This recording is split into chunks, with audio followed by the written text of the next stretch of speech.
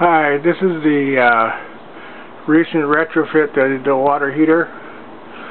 Uh, this is from the Insurance Institutes of America, their preferred method. As you can see, I've taken a piece of EMT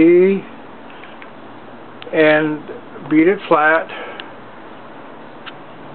and so it can take a quarter inch lag screw, it's a quarter inch bolt and nut down here and this is a plumbing strap.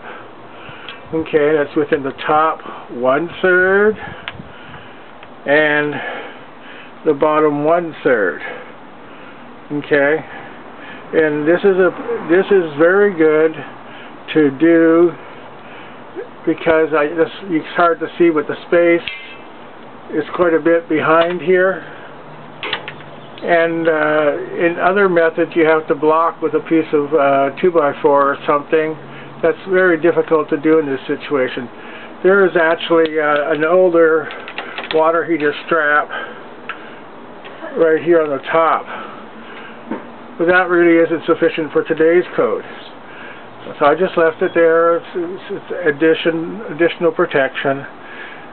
This will definitely ride out a uh, 9 or 10 earthquake. Even though the strap is very thin, it's very strong. Uh, and this this will work for anybody.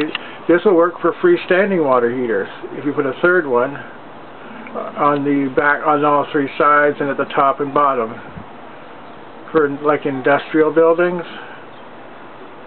Okay. Well, this is this is another addition to the earthquake preparedness for the 9 or 10 magnitude earthquake that's coming here in California.